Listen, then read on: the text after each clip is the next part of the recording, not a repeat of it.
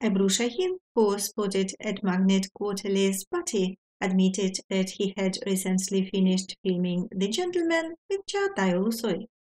Working with the uh, actor was very easy and pleasant. She hopes that the movie will be talked about a lot. We remind you that the movie will be released on Netflix this year.